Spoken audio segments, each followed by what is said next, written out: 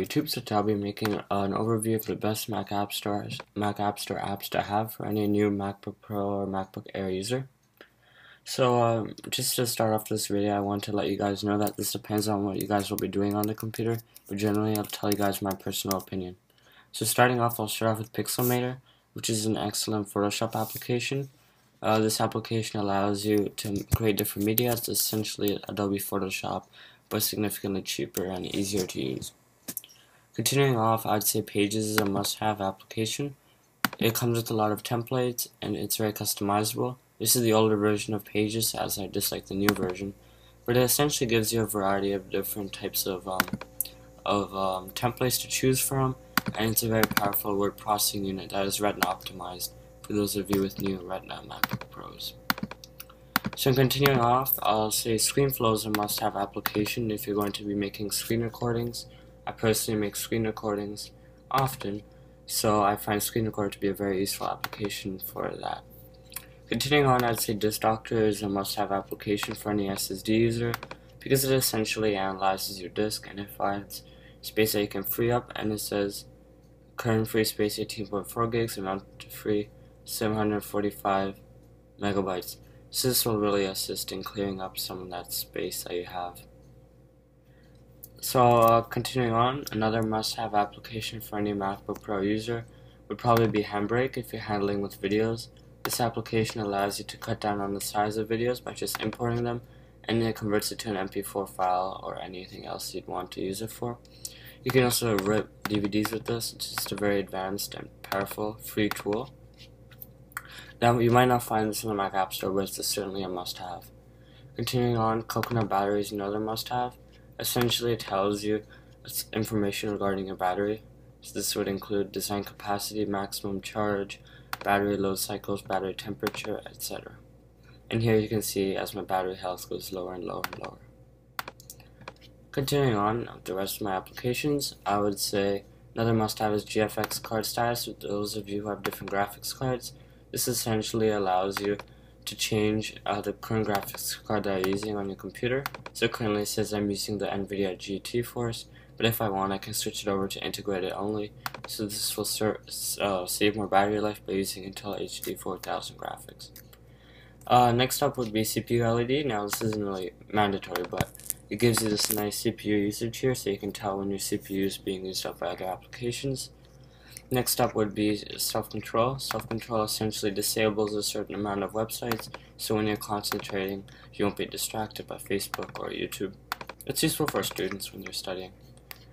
Um, next up, I would say, would be Blackmagic Disk Speed Test. Essentially tells you a benchmark of how fast your disk is. So I find this sometimes to be accurate, sometimes it's not too accurate, but it depends. I guess just casually using it. It's not really a must-have, but I guess it's a very nice application. So continuing on, let's see what apps I have around here. Geek Tool, I don't use it that much, but it essentially allows you to put your time and stuff on your wallpaper. It's very nice. Audacity is an excellent audio editing tool, which allows you to edit different audio files, adjust it, make recordings. It's very powerful, however it's not Retina optimized. Continuing on, furthermore, uh, we would have TextWrangler, which is just a programming editor that might not apply to most people. CC Cleaner, again, it clears up your disk space, but it's not it's not supported by OS X Maverick, so that might affect some. Google SketchUp is more of a designing software, so it allows you to design houses, buildings, and any other object you could think of. Monolingual essentially allows you to delete some of the languages on your computer and never removes them, so that could be very useful to some.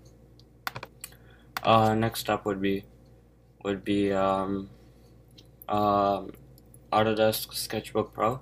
So essentially this application allows you to create different designs. It's similar to Pixelmator, but this would be mostly for those with sketchpads and it's just very useful for those as well. Continuing on, uh, we would have we would have uh, this application which essentially allows it to analyze your disk space and look for clutters of space.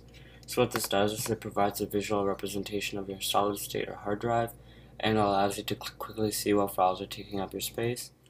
So usually it takes a little bit of time to load up, but it's a very very useful application for SSD users.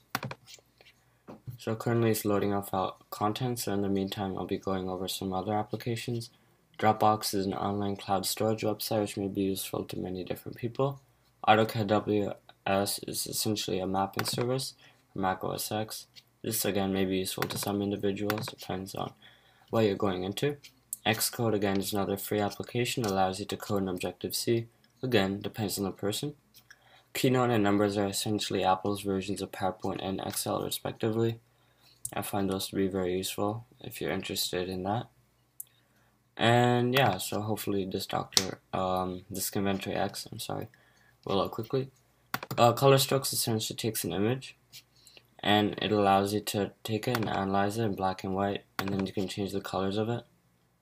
So um, here I have a cat in a basket and I go over and then it adds color to it. So it's a very powerful tool if you're, if you're using this imaging frequently. I believe it costs $1 in the Mac App Store, so it's a very nice application. So here you can see visually what's taking up space, so Dirt 2, Civilization, AutoCAD, iPhoto, Unity, Parallel Desktop, Real Racing, etc. So those are some applications, and if I want to delete this, you click Move to Trash, and it says I do not have specific privileges to do that. So then I manually have to go into applications and delete that application respectively. So I hope you guys enjoyed this video. Please like this video if it assists you. Please comment below if I talk too fast or something similar. Thanks for watching.